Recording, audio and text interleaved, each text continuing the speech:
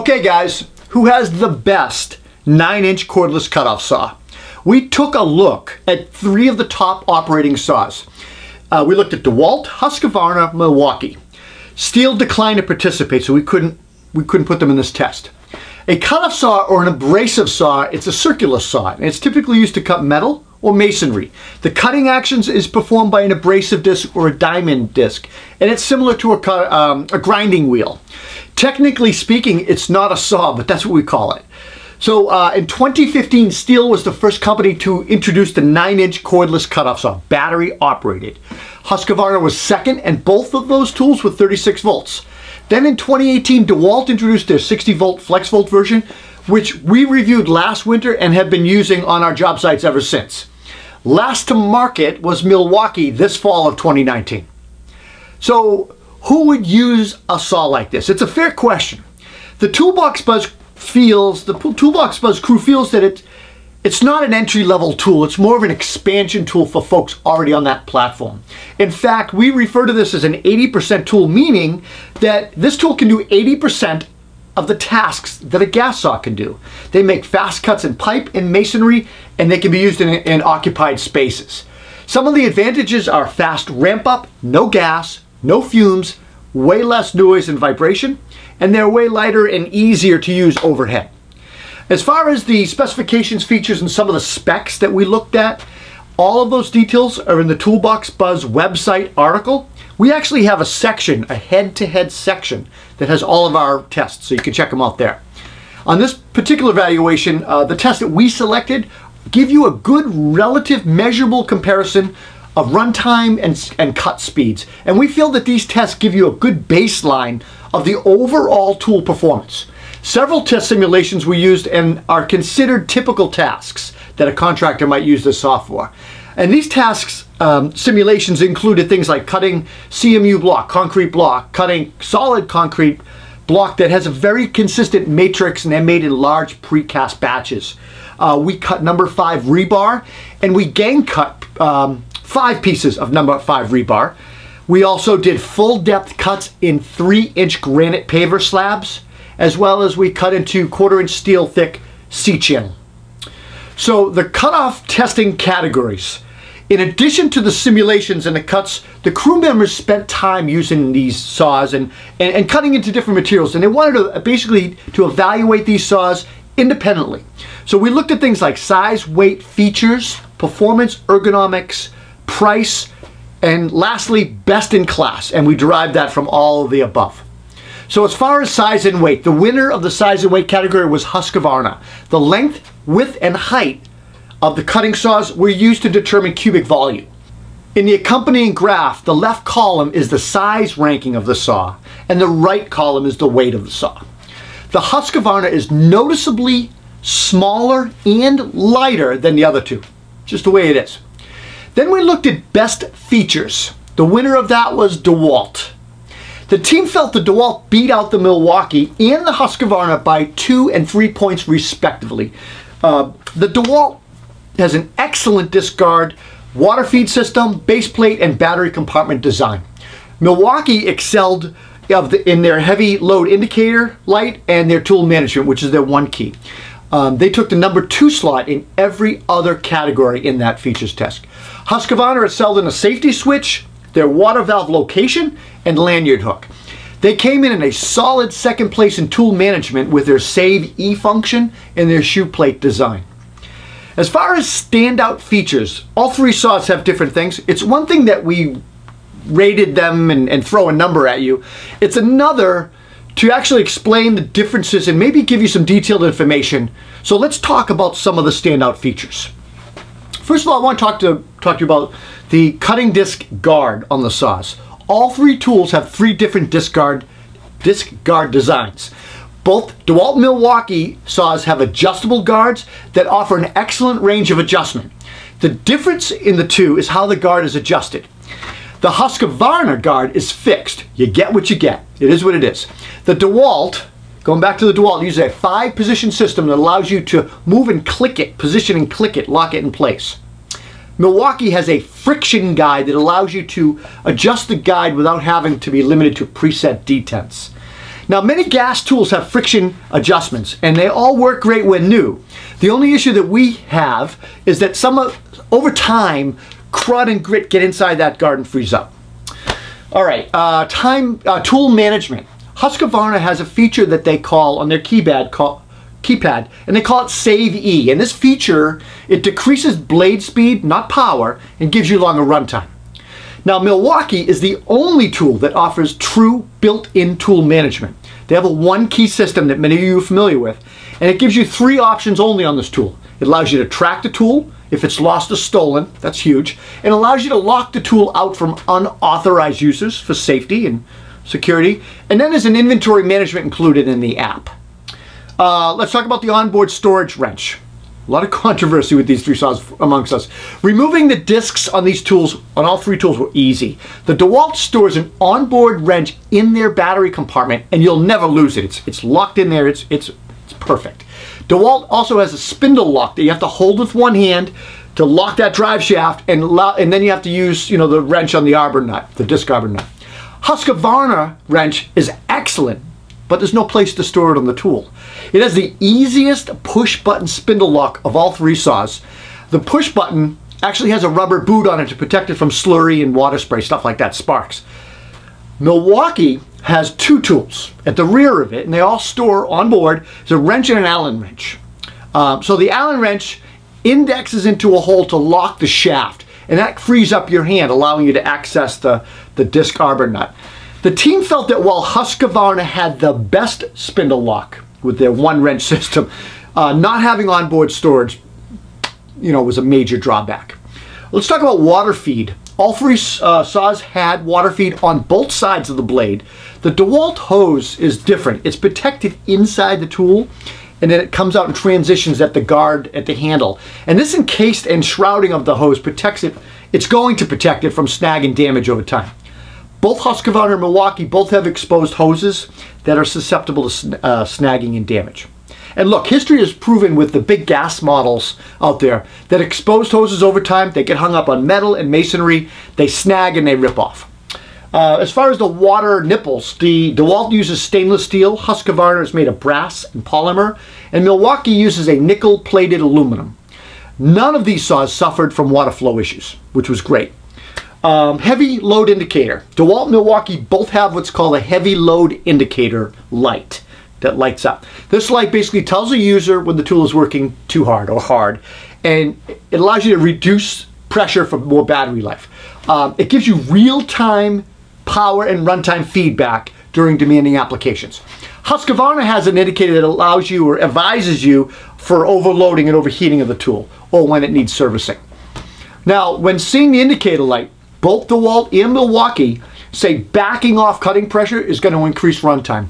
Milwaukee says pushing their tool harder does not give you more on their tool, does not get you more. While DeWalt says go get it. You push if you need more power, but if you, you're going to sacrifice runtime. We were able to stall all three saws during cutting if you apply too much pressure. So when pressing too hard, you can actually hear the saw struggle, indicating you just got to back off slightly. And we quickly got used to this and adjusted accordingly. And we found each tool's sweet spot, and that's where you want to operate in. Let's talk about the drive systems. What, what gets these things going? Drive belt versus belt driven. Well, DeWalt uses a drive system. It's called a Lovejoy cone coupling. And they say it's more efficient than a belt and helps minimize vibration.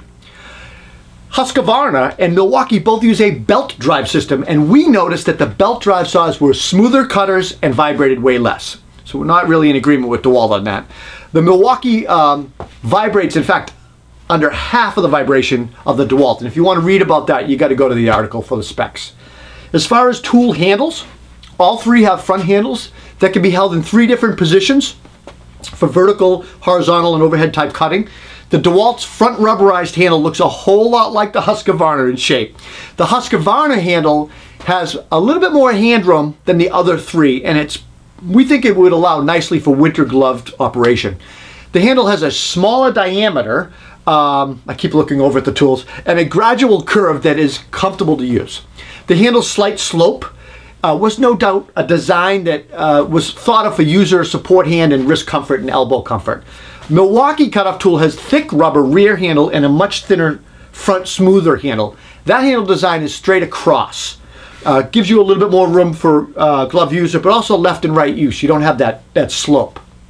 Now, the tools have these base shoes on the bottom of the plates. DeWalt's is wider than one would think it would need to be, and the team felt that the shoe provided excellent pivot point for plunge cutting. Husqvarna provides a wide metal shoe plate as well, and it also has two rubber little feet on it, and that keeps the tool from sliding off surfaces. Milwaukee had a really small one, and smaller than the other two. Overall, the team felt that the wider base plates provided better protection, better perpendicular plunging, and better stability side to side when cutting. Okay, next we looked at the safety switches. The DeWalt has a manual push button on off switch that locks the tool. Once activated on, the tool is live. You just pull the trigger, it goes. Husqvarna has an on off keypad switch, which times out after one minute of use. So while this is outstanding as a safety feature, the team often would pick up the tool to use it and were annoyed that they had to turn the saw back on repeatedly. The Husqvarna rear handle also has what's called a power trigger lockout safety switch, very similar to what a chainsaw has. Now Milwaukee uses a dual trigger which encompasses a small little trigger safety spring flap on the main trigger. The spring loaded flap needs to be depressed before it allows the trigger to be activated. Uh, water, the water valve feature, the water feed valve, DeWalt uses a T-handle valve knob that is very easy to operate. The, ease to operate equated to a little bit of valve slop, and we, meaning that the, the valve kind of moves side to side. Mil, uh, Husqvarna separated their valve knob and they put it up away from the nipple and they put it up by the handle. Real easy to reach and real nice to uh, operate and activate. Milwaukee uses a T-style or half-style knob, which we found very stiff to operate but super secure and durable. All three tools dual-sided water system that is OSHA Table 1 compliant for dust management. Uh, as far as cutting depth, let me see, the DeWalt can cut at 3 and 3 eighths deep.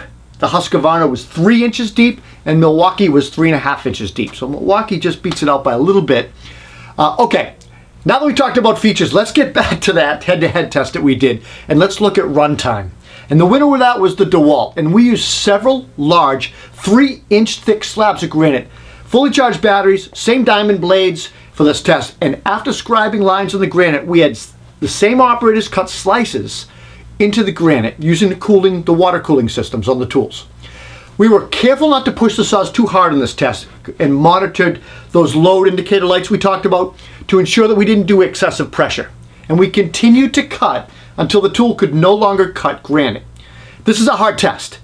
Both DeWalt and Milwaukee had thermal overloads activate before their batteries were exhausted. And we felt that the enclosed battery compartments maybe contributed to this by keeping heat in and overheating quicker. Uh, we allowed the hot batteries to cool down a bit. We continued cutting and then the batteries, uh, until the batteries registered no power. Husqvarna, on the other hand, is not an enclosed battery compartment, so it did not have a thermal issue. Let's see, the DeWalt cut Three inch thick solid granite for a distance of six feet, nine and three quarters of an inch on a single battery charge. Milwaukee, six feet four, and Husqvarna, five feet seven and three quarters. Um, we looked at cuts per watt hour. The DeWalt Milwaukee saws, they, they can they have options of a 12 amp hour battery. The Husqvarna is a 9.4 amp hour battery. By using watt hours, total battery pack power, we can level the playing field for, both for wattage and amp hours. Watt hours is calculated by multiplying the actual voltage by the battery pack amp hours. And this calculation allows us to compare total energy available to do the work based on the voltage and size of the battery pack, amp hours. The result showed that Husqvarna is slightly a more efficient cutting machine. Unfortunately, Husqvarna saws do not currently come or offer a battery larger than the standard 9.4 amp hour battery pack. Um, okay, we looked at performance or speed testing, and the winner of the speed test was Milwaukee. In this test, we used a 3-inch granite, and we wanted to see which saw was capable of cutting the most granite in one minute. The operator pushed each saw to the point of the overload light coming on or the RPM decreasing and then would back off that pressure. And again, we want to find that sweet spot where the tool just operates for the material cutting. The test was timed and stopped after one minute of cutting. Distance cut was measured and it was measured at the bottom of the saw blade kerf. The Milwaukee cut slightly faster than the DeWalt and almost twice as fast as the Husqvarna. Now steel cutting performance, that's speed as well, and the winner of that was DeWalt. The performance of the three saws were evaluated cutting steel, and we put the saws through paces cutting things like five ganged up pieces of number five rebar. Uh, we cut single rebar. We also cut uh, structural steel C-channel, quarter inch thick. The Toolbox Buzz crew kept the saws spinning at or near their sweet spots for the performance by modulating the saw pressure, the pressure of the saws. The DeWalt was the fastest cutting, and that was 14.7 seconds. Milwaukee was 19.2, almost 33% longer. Husqvarna was 35.6, which is 2.4 times the DeWalt time. In both steel cutting tests, the DeWalt roughly outperf basically outperformed the other saws. In the 4-inch um, steel C-channel, DeWalt was the fastest cutting, and that was at 20 seconds, almost twice as fast as the Milwaukee and four times faster than Husqvarna. So the Milwaukee saw was 30.4 seconds, and the Husqvarna was 80.5 seconds, and that's quarter-inch thick C-channel steel. Um, all right, ergonomics. We looked at ergonomics, and the winner of that was Husqvarna. Ergonomics plays a big role in evaluation and testing, and not only does a tool need to perform well, but it's got to it's important that it's the tools are comfortable, which ultimately I think relates to more productivity and reduce risk of injury. So for the ergonomics evaluation, the team evaluated uh, uh, the following criteria. We looked at the grips, the handles, the blade guard, disc change, power switch, battery changing, vibration, balance, and of course maneuverability. And it, on each category, we ranked them one, two, or three. One being the best, three being the least. Much of the ergonomics evaluation came from the team members using the cutoff saws during our testing. Each team member used each tool, cutting different materials to get a relative comparison of each, of each tool. The Husqvarna beat the DeWalt by one point and the Milwaukee by six. The Husqvarna excelled in almost every category but lost points due to its fixed guard that we talked about, the disc guard, multiple switch operation, and lack of onboard tool, tool storage for the changing of the disc. Overall, the team felt that the Husqvarna was the nicest, smoothest operating saw we tested. Both the DeWalt and Milwaukee saws came out after the uh, Husqvarna. Obviously, they had time to improve their design, which was, you know, it's a compliment. Uh, the DeWalt was one point behind, excelling in, uh, in improvements on the grip, the guard, and the trigger switch. Milwaukee excelled in the grip and was consistently second in almost every category except blade change and uh, maneuverability. All right, we looked at price. Price is important, and DeWalt took that. For this head-to-head, -head, we looked at bare tool pricing to eliminate discrepancies in the, in the composition of the kits. DeWalt comes with a 9 amp hour battery, Milwaukee comes with 12, Husqvarna is different. When you look at bare tool pricing though, DeWalt is lower than its competitors and competitor, uh, competitive pricing. Keep in mind that we tested the DeWalt with a 12 amp hour battery. And at the time of this publication, it doesn't come with a 12 amp hour battery. It comes with a 9 amp hour battery. The Milwaukee kit does come with a 12 amp hour battery and definitely adds value. So DeWalt's going to be around 550 bucks, Husqvarna around 600, and Milwaukee about 600 for a bare tool. Okay, who has the best cordless cutoff saw? DeWalt. The saw looks, feels, and performs like a pro-grade tool. It's pretty, it was pretty obvious during our testing that the DeWalt was a powerful cutter, and our results showed that when we compiled our numbers.